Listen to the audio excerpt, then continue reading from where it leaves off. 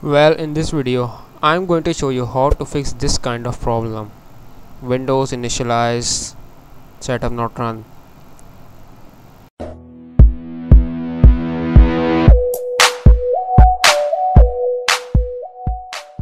So I watched many videos on YouTube and watched many tutorials on the internet but I don't even find the solution. So I found my own solution. I right click on setup and run as administrator.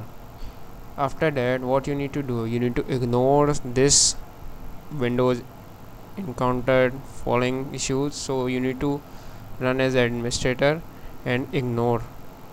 After that your software your setup is ready to go and start your installation.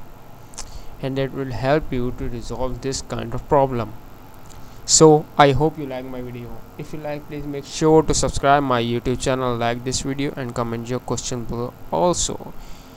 And thanks for watching